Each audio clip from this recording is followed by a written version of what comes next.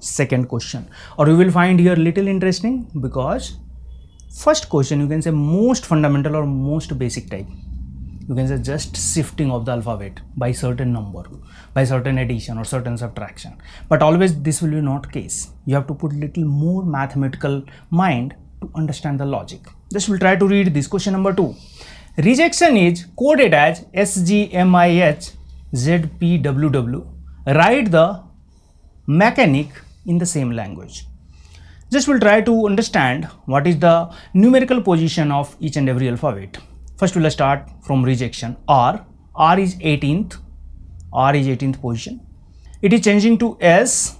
S means just immediate.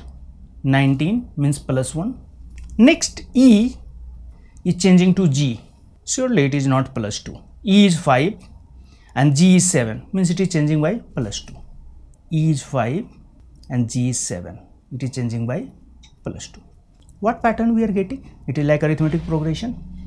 First letter first alphabet followed by plus 1 second alphabet following plus 2 then we can sense it. Third alphabet will follow plus 3 just will check it.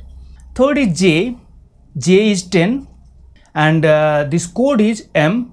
It is 13 it will become plus 3 10 to 13 plus 3 or we can check here also? This is 10 this is 13 how much is changing plus 3 similar way we will just convert all the all the alphabets rejection in the same format logic is shifting in the form of an ap which will start from 1 and common difference also 1 means first term 1 common difference 1 then based on that mechanic we will able to do it. Mechanic m m is just will check where is position of m? M is 13 it will go next letter 14 e will go by second letter it is g.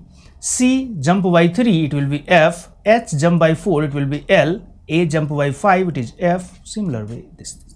Means code of the mechanic in the same language it will come n z f l f t